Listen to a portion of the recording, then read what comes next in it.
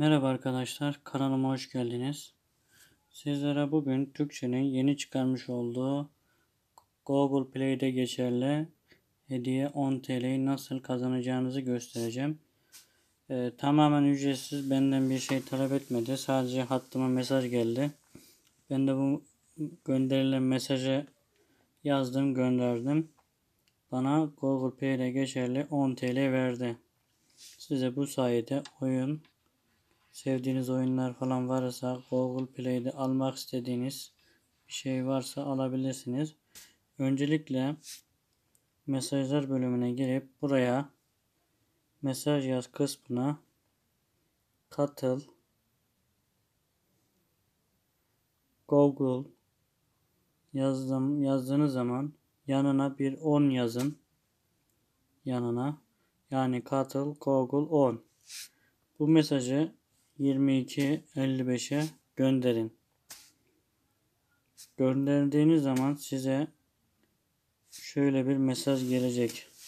Şu an ben ikinci mesaj attığım için bana katılım talebi daha önce almıştınız diye bir mesaj gel e, mesaj gelmiştir büyük ihtimal.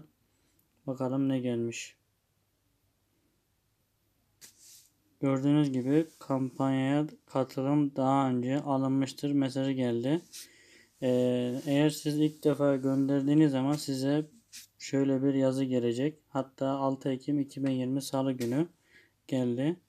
Tebrikler Türkcell mobil ödeme kampanyası ile Google Play Store'de 10 TL hediye kazandınız. Hediyenizi görüntülemek için Paysel uygulamasını ziyaret edebilirsiniz. Dediğim gibi Turkcell ve Paysel kullanıyorsanız gelir. Diğer hatları bilmiyorum.